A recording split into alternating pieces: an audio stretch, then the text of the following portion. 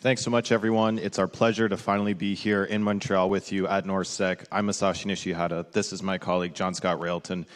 Uh, as Pierre David said, we are from the Citizen Lab, which is an interdisciplinary research group at the Munk School of Global Affairs, University of Toronto.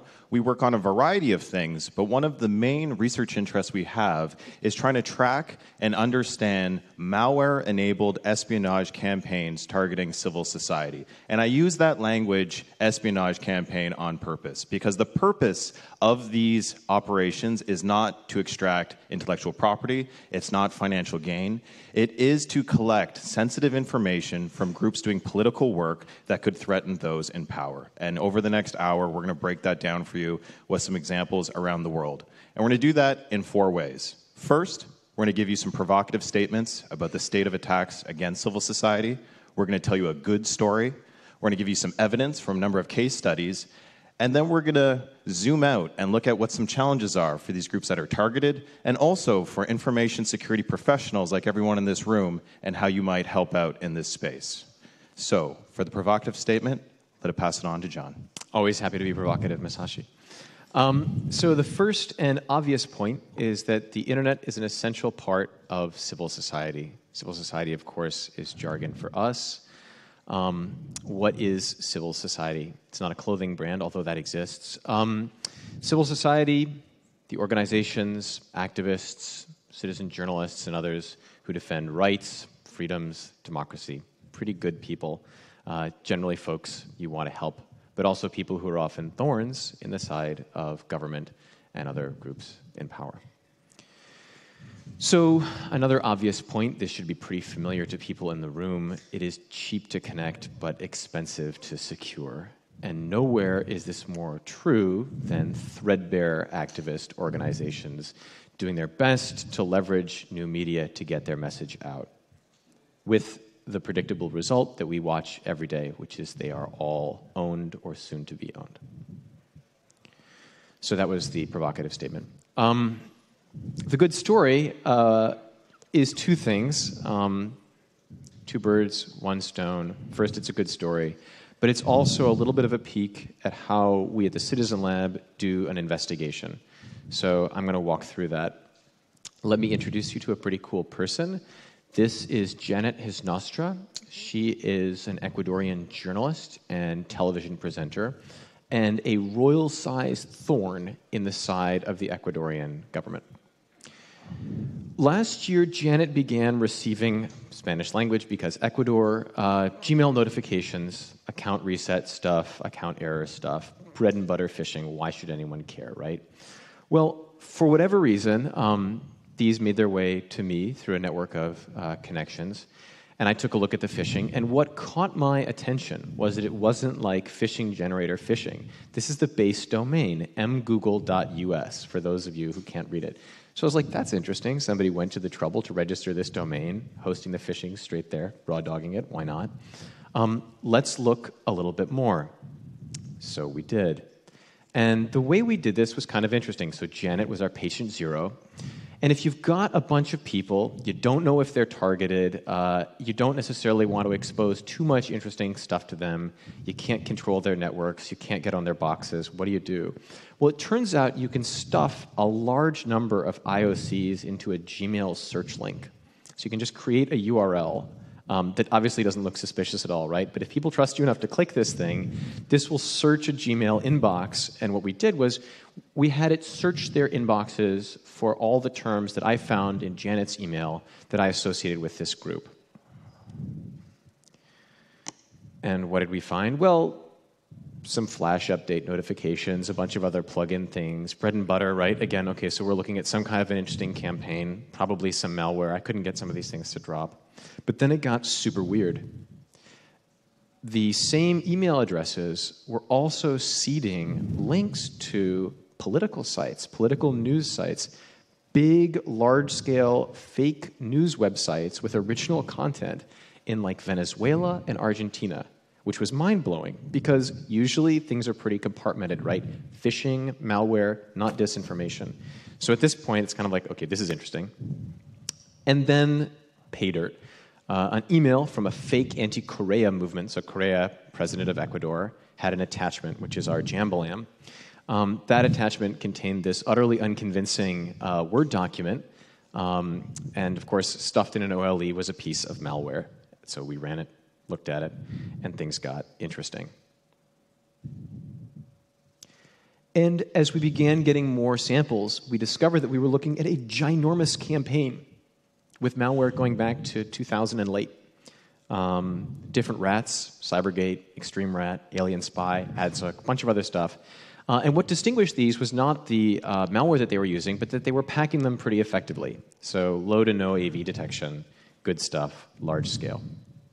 So get on the Maltegos, start looking at command and control.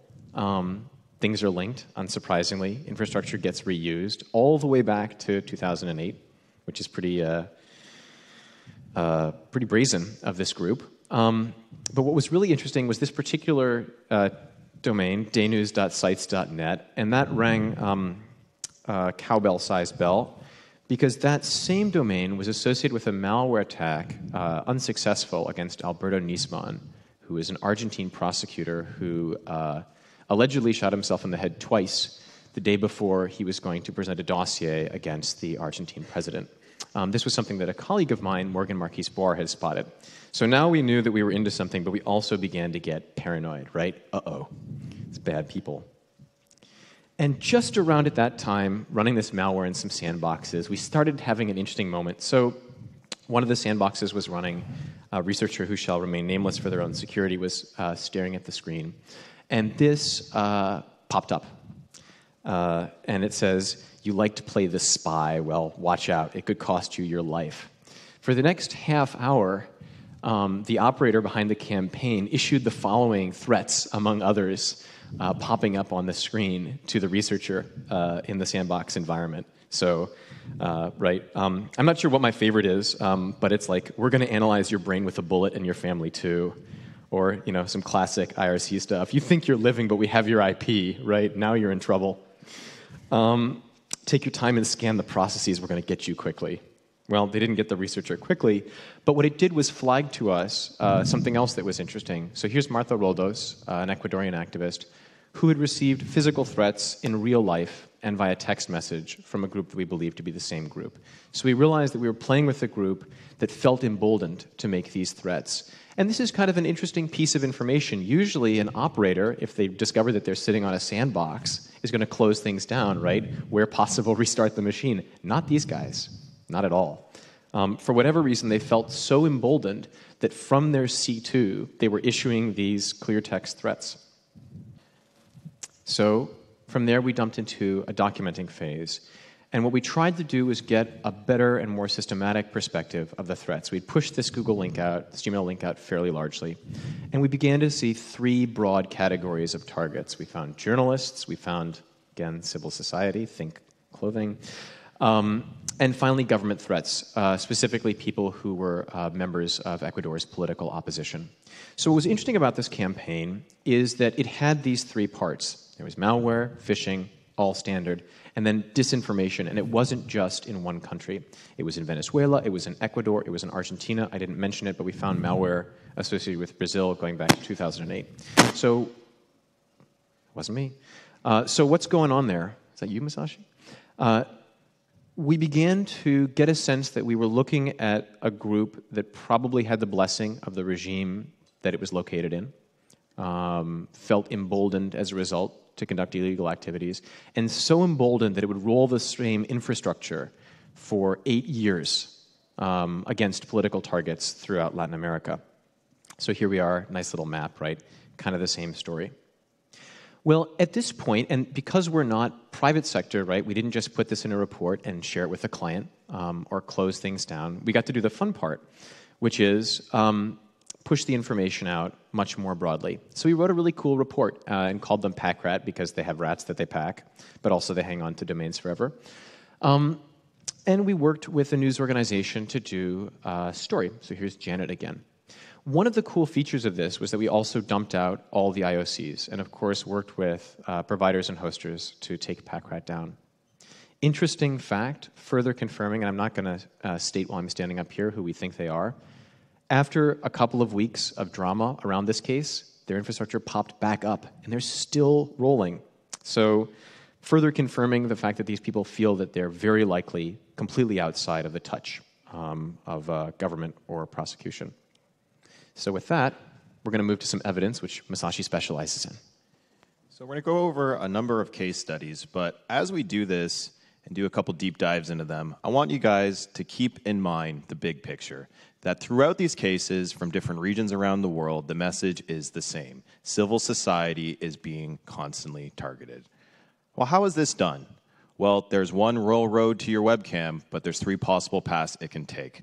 The first route is one that you know everyone here hears a lot about: advanced persistent threat. What does that really mean?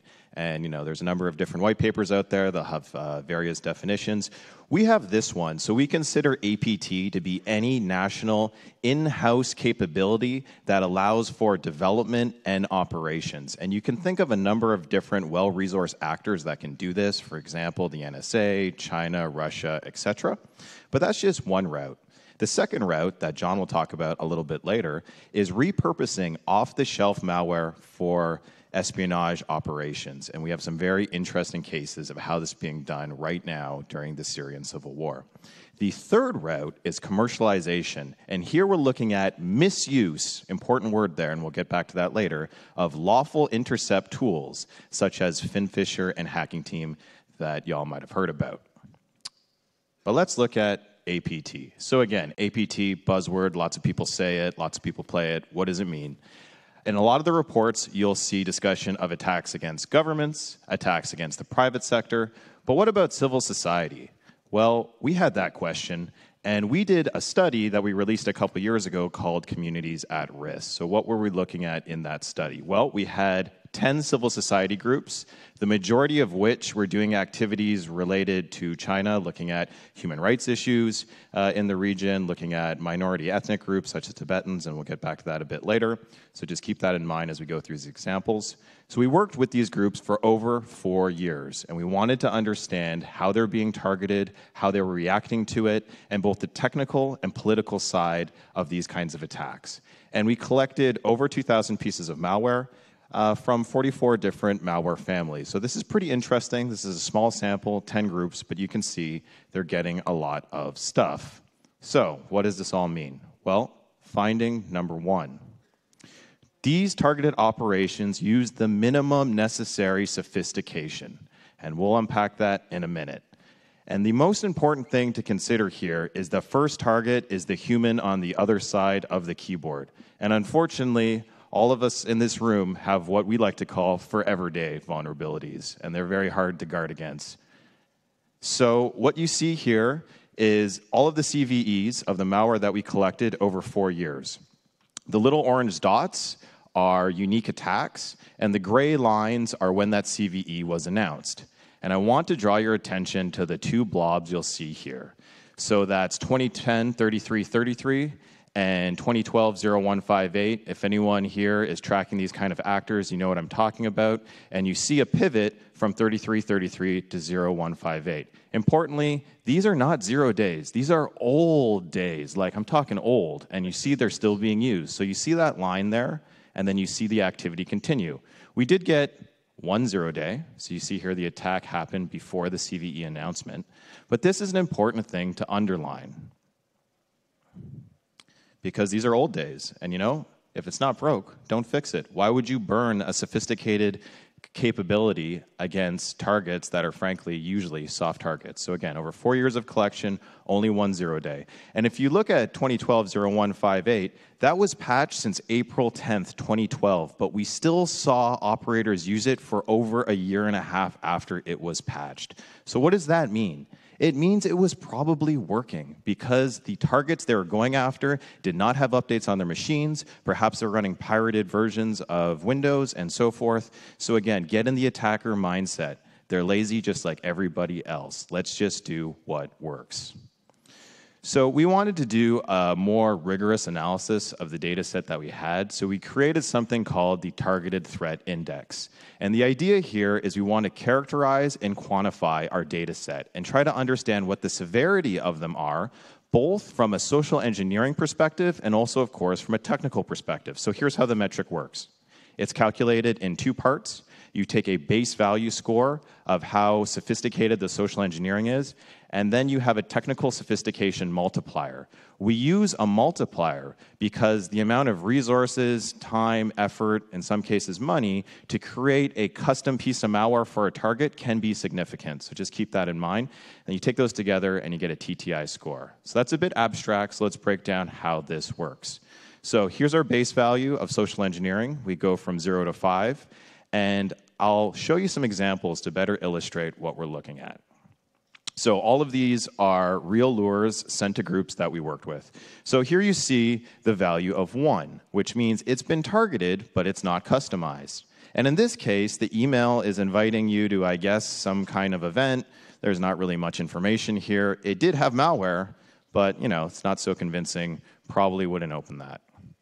Well, how about this one? So this is a two. It's targeted and poorly customized. In this case, it was sent to a Tibetan human rights group. It's about an issue that Tibetan groups care about, but again, it's coming from someone you don't know. It doesn't look like a real person, not a lot of pertinent details here. I don't know if I'd click that. But let's up this a bit. So now you have a three, which is targeted and customized. Now we're getting a little more interesting. This person that's named here is a real person. That is their real email. This, in fact, could be a real message that they sent that was collected in previous operations. If you are working in the Tibetan community and you got this at your workplace, seems pretty legit. I might click that. But let's up it even more. So now we're looking at four. It's targeted, it's personalized, the salutation is addressed directly to the target, and this one is particularly interesting because you can see there are people on the other side of this putting some consideration into the targeting. So in this case, it says it's from a Mr. Cheng Li, who's director of research at a China center at Brookings Institution. Well, if you just Googled uh, this title, you'll find this gentleman here. Looks legit, you know, he's got his title. Okay, that's interesting. But let's take a little bit of a closer look at this email. So, you know, for those of you paying attention out there in the crowd, you might see some funny things. Like, first of all, you know, someone from Brookings is sending from AOL. Okay, weird. Uh, it's unsolicited, so the person that received this has never met this person before. They are a well known China scholar, so it's like, wow, they want my opinion as a Tibetan activist on an important Tibetan issue. And you can even see at the bottom it says, thank you again and happy Tiblosar, which is Tibetan New Year. Interesting. And he really, really, really wants you to open this file. So let's just keep that all in mind. But you know what? Two can play this game. So we wrote back Mr. Cheng Li with the permission of the targeted individual, and we said, you know, we'd love to help out, but we're having a bit of a problem with the attachment. Maybe it's because we're on a Mac, you know, Chinese character fonts, computers, I don't know.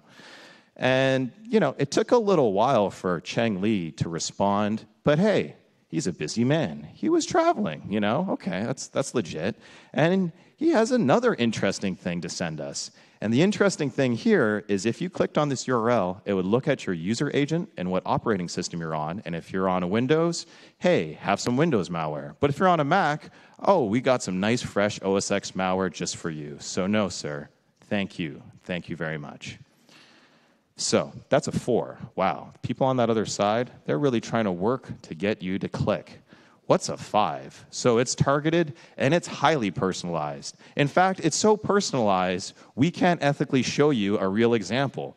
But here's a little story of a real example. So you're a NGO and you get an email from your actual funder and the actual program officer from that funding organization. And they say, I have an important update for a meeting that we're having two weeks from now, which is a real meeting which was already scheduled. I don't know about you guys, I would probably click that. So that's the social engineering. Across our data set, you'll see here, these are all the scores. We saw a lot of threes, which were pretty good. We saw some fours and fives, but the majority were threes. That means there's a lot of effort being done in these operations to make these emails seem legitimate. But what about the technical side of it? So, again, we use a multiplier, and what we're looking at here is the level of effort to obfuscate the code inside the binaries themselves and to obfuscate the functionality when it's on the network. Why do we look at obfuscation? Well, all the malware we're looking at, the functionality is essentially the same. They're all rats, they're all looking to do the same thing. And we choose obfuscation because it makes it harder to analyze, which makes our lives harder. It's harder to find it on the network, which makes defenders' lives harder. And again, it's a way to um, uh, to see the differences between the malware because the functionality is mostly the same. A two is like FinFisher hacking team level, professional software development. And we didn't see any of these in this data set, but we'll talk more about what that stuff looks like in a bit. So we saw a lot of ones, a lot of 1.25s, uh, some 1.5. So it's not very technically sophisticated. Overall, if you look at our scores and you put these together, the highest TTI scores were based on high levels of social engineering rather than technical sophistication. So just remember, that's where the effort is going in these particular operations. And why? Because it works. Why up the technical sophistication if you don't have to? Okay, so that was finding one. Finding two Who's doing this? Well, we found that the same groups that are targeting private sector and governments that we hear a lot about in all the white papers that are out there are also targeting civil society. So, who runs these ops? Well, looking at the TTPs, looking at the malware, looking at shared infrastructure, we identified 10 distinct espionage campaigns and threat actors, four of which are known to target government and private sector, and we know that because of previous reporting by our friends in industry and other research groups. So here are some of them. How many people know NetTraveler? Okay, not a lot of NetTraveler fans in the audience, but they have targeted 350 government and industry and NGO groups. Another one, DTL Group, reported by our friends at FireEye, they have targeted 11 different government and industry verticals. PlugX, again, a very um, prolific group, has targeted a number of government and private sector groups as well as NGOs. Perhaps the most significant one we found were these guys, APT1, which I'm sure everyone in the audience knows. It was reported by Mandiant, apparently linked to a specific unit of the PLA, and interestingly, recently the Department of Justice, the United States, served an indictment to five individuals who were apparently connected to this operation. If you read that indictment and the Mandiant report, you'll see all kinds of discussion of industry and government targets, but you won't see any mention of civil society. However, we saw them targeting one of our Tibetan groups and also saw an active compromise against a large NGO, which is interesting. It has over a thousand employees, multiple offices, enterprise level security, help desk, the works, probably similar to some of the networks that you guys look at in your day job. And what we saw here is the APT1 operators had access to the network of the headquarters of this organization for over eight months. What did they do when they had access? Well, you know, the typical stuff. They moved laterally, they impersonated staff, they installed rats, and they exfiltrated data. Again, you'll see this discussed in the Mandiant report, but not within an NGO group, which is important. So What's that, an NGO? A non governmental organization. So finally, we'll look at finding three. And that's these operators constantly adapt. And we already saw that with our friend Cheng Li and the nice little pivot they did there. But what's interesting is these adaptations are often in response to defensive measures from the targeted groups. And I just want to share a story about the Tibetan community. Now, this is a community that have been facing these kinds of attacks for over a decade. They are the canaries in the coal mines, so to speak. And they are not laying down on this. They're trying to empower their community through education and through trainings to better equip them with a different mindset. This is a quote from one of the Tibetan trainers, and change their behaviors. And they're doing this really based on data. So, in our study, we found that file attachments sent in emails were the most common vector for Tibetan organizations. In fact, two of these groups, if they simply didn't open attachments, they would have mitigated 95% of the threats that they receive in over four years. So that's interesting.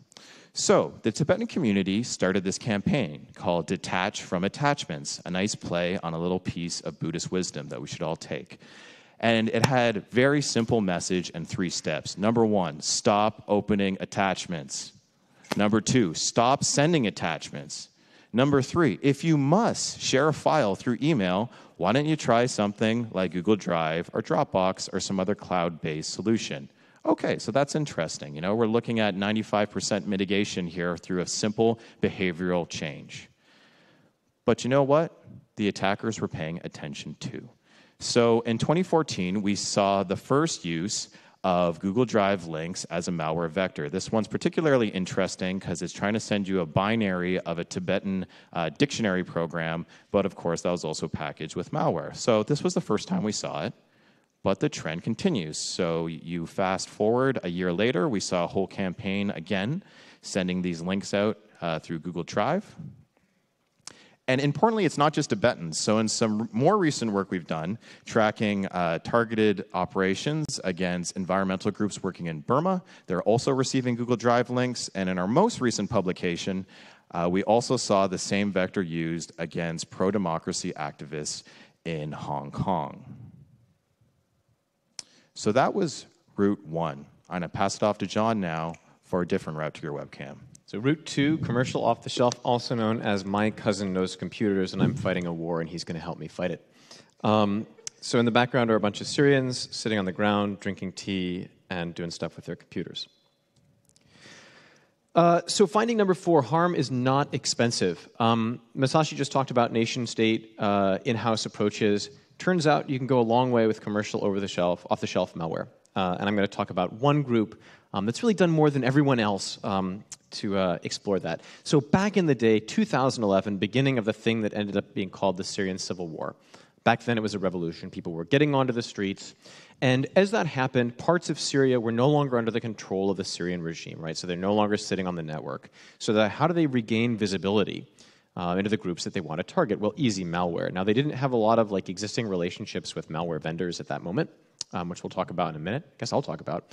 Um, so what did they do? Well, they had people who had some degree of sophistication, and they just started rolling rats with social engineering. And the two groups doing that, one everybody's heard about, the Syrian Electronic Army. One not everybody has heard about, malware groups working for the Syrian regime. So that's 2011, long time ago. I barely had facial hair. Fast forward a few years, um, and we've got a bunch more groups all doing the same thing. So Lebanese groups targeting the Syrian opposition, and ISIS and Islamist groups targeting the Syrian opposition. There are more, but this is just a couple. What's interesting is that despite the proliferation of groups who all want to know what the opposition is doing for targeting, they're basically rolling the same TTPs, which we'll talk about in a minute. Now, I just had to put in this slide. So, Syrian Electronic Army 2016, big update, very exciting. Indictment rolls down, some pictures, some names, now public. So, here are two members of the Syrian Electronic Army. I wouldn't normally read from a slide, but this is just altogether too good. So here's an indictment against the SEA for blackmail, which it turns out they were doing on the side.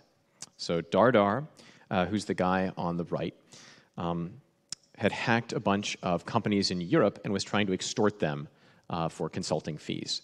Um, and this is just like, I guess if you're going to do that, this is probably not how you want to do it. So Dardar demanded further payments, which he referred to as blackmail, which is really not what you want to do if you're blackmailing somebody. And then, just like the ultimate moment of Zen, Dardar, in the course of his communications with representatives from Victim One, which is a large institution, occasionally mentioned his affiliation with the Syrian Electronic Army and the fact that he was wanted by the FBI. Which, if you're trying to convince a large, risk averse company to give you some money, is like I don't know. Next level. Um, despite that, the Syrian Electronic Army is rolling along, targeting the opposition uh, as recently as this week, actually. Um, new attacks. And what's really exercising them at the moment is trying to target mobile phones. The reason for this is that the Syrian opposition, a lot of them are in places that don't have good internet connectivity, but also not uh, stable electricity. So everybody's moving their comms to phones, and all their threat actors are moving there. Let's talk about the malware group. Now, these are some super elite gentlemen, right? Um, here are their pictures, which they injudiciously posted on social media um, somewhere under different names. Um, so, anyways, these are some pictures of the guys.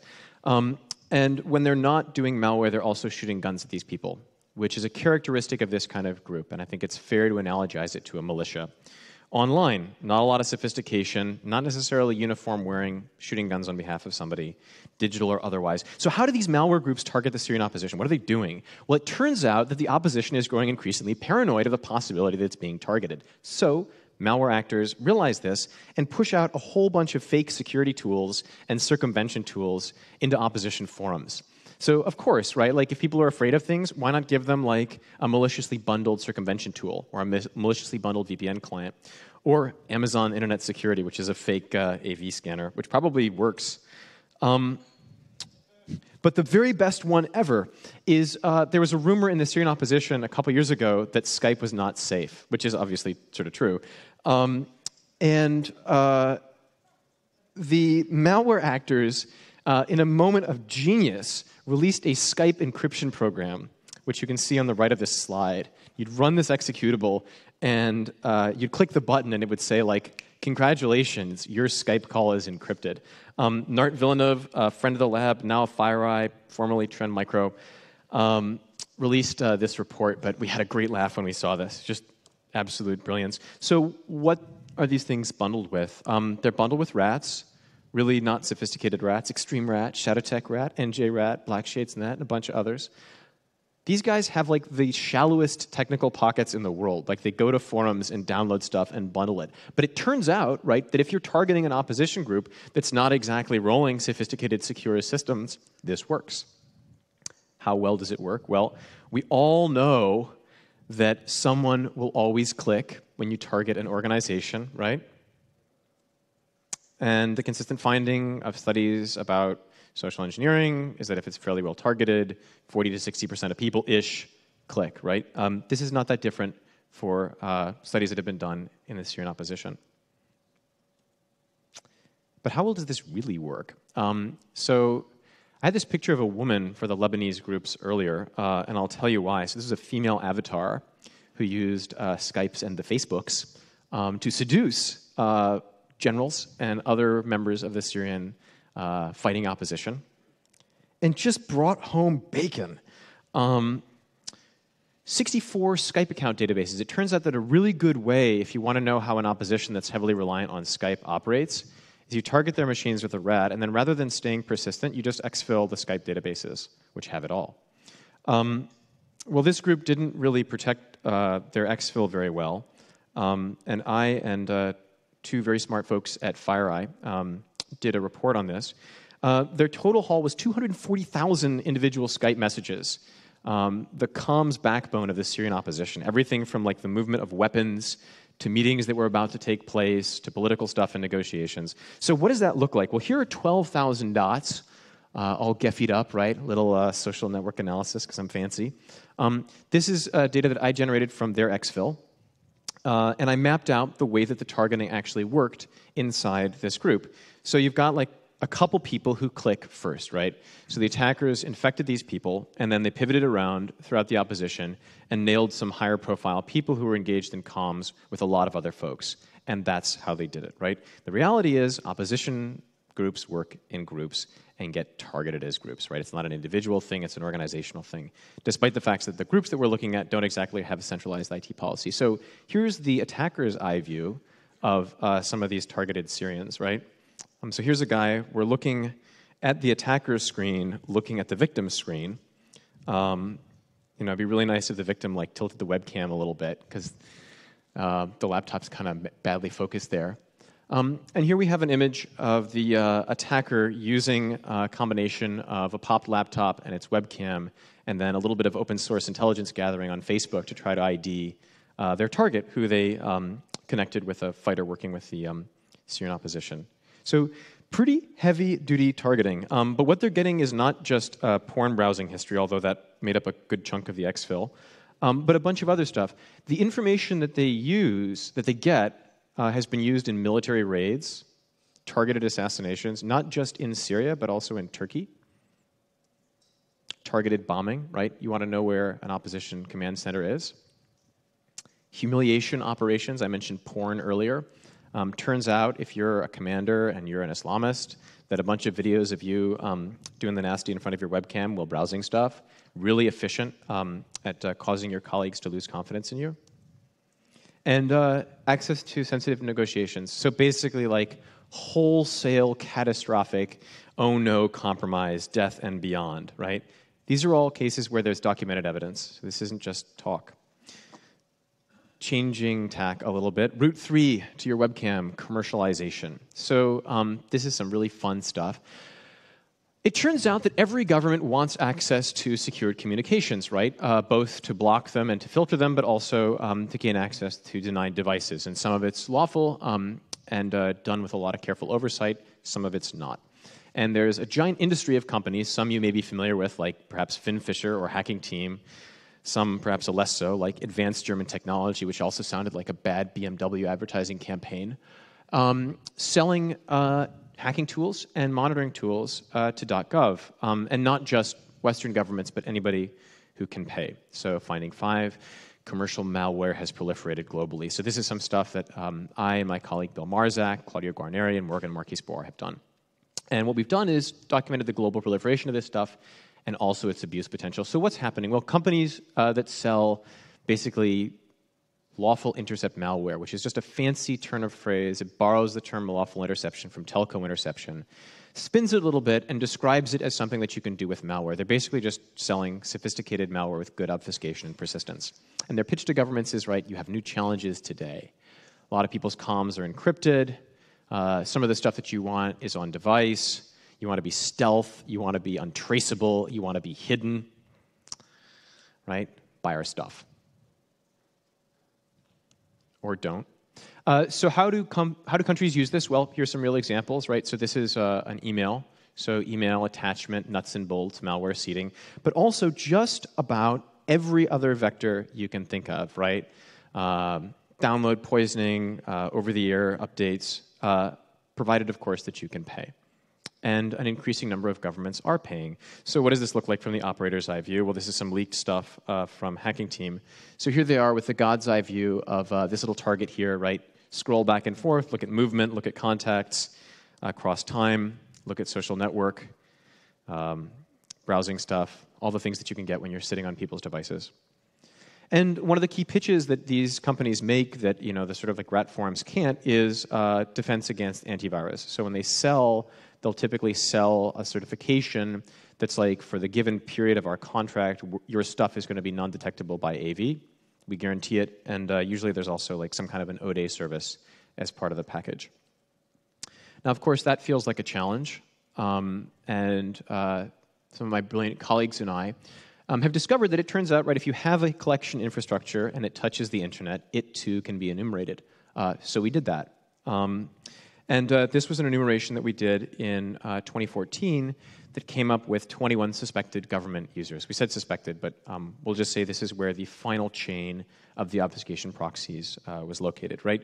So some countries here that are perhaps reassuring, and then some that are definitely not. Like, uh, I can't imagine that Nigeria is going to be like heavily overseen in terms of how it uses surveillance powers, or Egypt, or Mexico, or really anything else on this map. Um, so let's talk about real cases, though. So this is Hisham. Hisham's a Moroccan journalist working with a Moroccan journalism organization.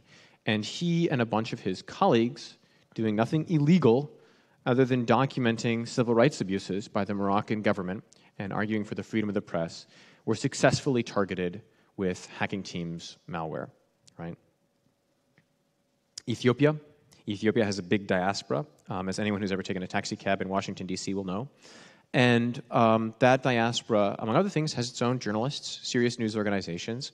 Um, and perhaps the most paranoid group about the diaspora is the Ethiopian government, which bought Hacking Team and FinFisher malware, always wanted to hedge its bets, um, and has been systematically targeting journalists in its opposition. Now, something happened last year, um, which was really interesting, which is Hacking Team became Hacked Team um, and got themselves doxxed massively. Um, so here's a tweet that happened last year on their Twitter feed. Since we have nothing to hide, we're publishing all of our emails, files, and source code, right? It's the ultimate open source moment. Uh, there was a lot of stuff in that dump um, that was interesting. Among other things, it confirmed our findings and added countries to the list. It also added new victims. We discovered that uh, their stuff had also been used to target journalists in Ecuador and many other places. The key thing is the industry argument about a lot of this stuff is it's lawful intercept, it's sold to governments who are going to oversee how it's used and use it for child pornography and anti terrorism investigations. The reality, of course, is if you give a government, especially a government with an issue with oversight and corruption and paranoid leadership, the ability to conduct secret surveillance, history tells us they will abuse it. They also, at Hacking Team, think a lot about us. Um, so uh, it's always very interesting when you find yourself talked about, um, especially in a document dump. So uh, here we were reading about ourselves. Um, Prof. Deibert, director of Citizen Lab, right? he seems to think that he's running a regulatory organization that has some authority over our worldwide business, right? They'd really prefer it if we just leave them alone. And uh, in fact, um, despite the documented use of their tool against completely undeserving victims in many countries around the world, their narrative, of course, is we're the victims, right? We got hacked. So, finding six. We've been doing this work since 2012, uh, targeting commercial malware, and I'd love to talk to you more about that in questions. Uh, and what we've discovered every time we look, every surface we scratch, more countries are buying, right? Post Snowden revelations, every country kind of knows what they could get, right? And everyone would like to buy it. And a lot of these companies uh, have recognized this as a market opportunity. So repressive regimes have learned quickly and are sharing a lot of information to each other about what you might do to preserve um, your government.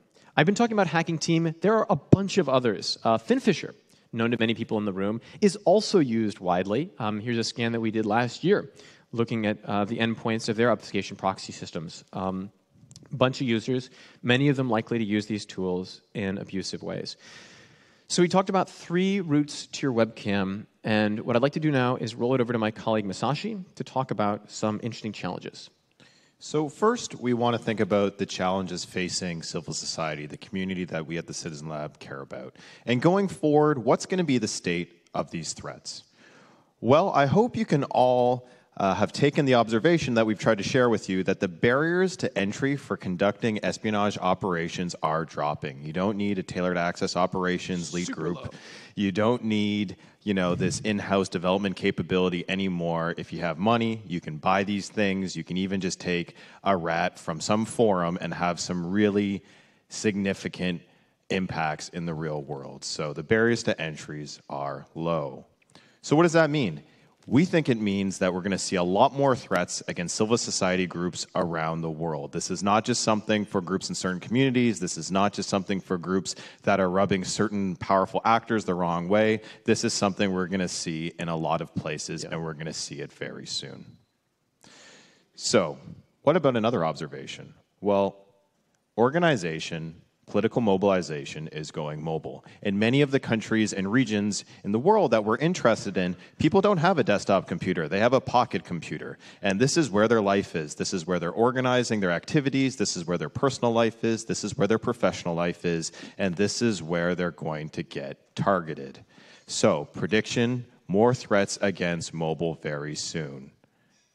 And it's probably already started. So these are just some general ideas of what's happening around civil society. How does this affect all of you in the room? So y'all curious? Y'all want to know what you can do? I know some of you do. I know you're thinking. I can hear it. I can feel it. Um, one of the big challenge that I've observed over the past couple years, um, we get a lot of people approaching us who are like, "Hey, what you do is really cool. Uh, how can we help?" Right? I've got some skills. I can reverse the things. Um, we like that. One of the challenges that people often face if they've got some skills or a desire to do engagement is actually the relationship process. How to actually connect with groups who need help. Um, there are things that people in this room do in hardware, and then there are things that y'all do in software, like relationship management. Some of those things can be very challenging. And one of the things that we've observed is that when people who have great intentions and want to help cast out looking for a way to do it, um, unless you're connected with some fairly solid feedback about what needs actually look like and about what problems are, you can waste effort, you can get frustrated. Uh, it can be challenging to actually know if you're accomplishing things. And I know for a fact that a bunch of security companies have tried to do pro bono stuff and found the sort of how to connect with real targeted groups to be one of the biggest challenges. It's a source of risk, reputational risk, a bunch of other concerns. So, our recommendation is to connect with a group that has those relationships um, and perhaps good judgment, allegedly at least. Um, so we're hiring, uh, and we're one of those groups. We'd like to think so. Um, but we also know the space pretty well. Um, and if people sitting in the room find this at all enticing or would just like to jam on some mobile reversing, right, the aforementioned, especially APKs, um, that we're looking at, um, there are plenty of opportunities to do so. So I'd encourage you to grab my colleague Masashi or if you must, me. No, I'm just kidding. Um, and uh, ask us. Um, and we can probably connect you either to somebody who's interested um, or talk to you more about uh, connecting and working with us. So, with that, we wanted to leave time for questions. Um, So we'd like to do our thanks. Yeah, so uh, big thanks, first of all, to the NorthSec organizers. It's awesome being here with all of you. You can check out all our reports online at our website. And you know, research is a team sport at the Citizen Lab. There's a lot of collaborators and team members that made all this research possible. Their names are listed there. So thanks to our team and collaborators, and thank all of you for your attention. Yeah, teamwork makes the dream work. That's right. All right thanks, guys.